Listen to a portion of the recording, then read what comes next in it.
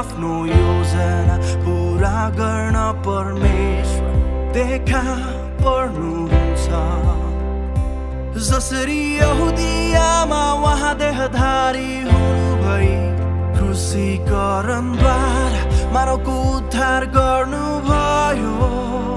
तै पनि यहुदीहरूले यसलाई असम्भव उहाँ देहधारी भई यसुको रूप लिन सक्नुहुन्न।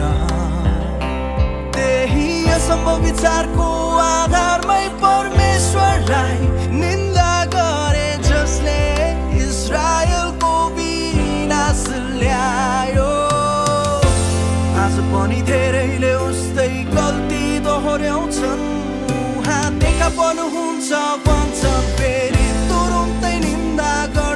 त्यसैले उहाँको देखा पराई उनीहरूको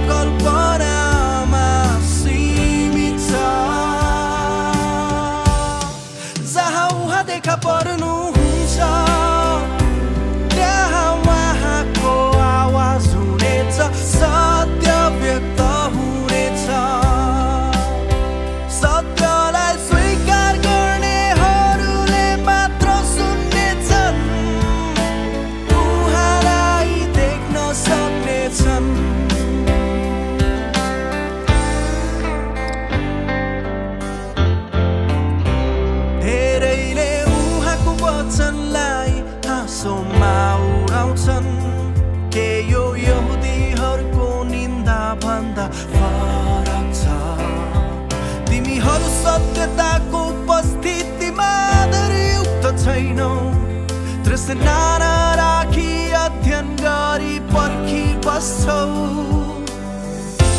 यसरी अध्ययन गरी पर्खी बसी के पाउँछौ परमेश्वरको मार्गदर्शन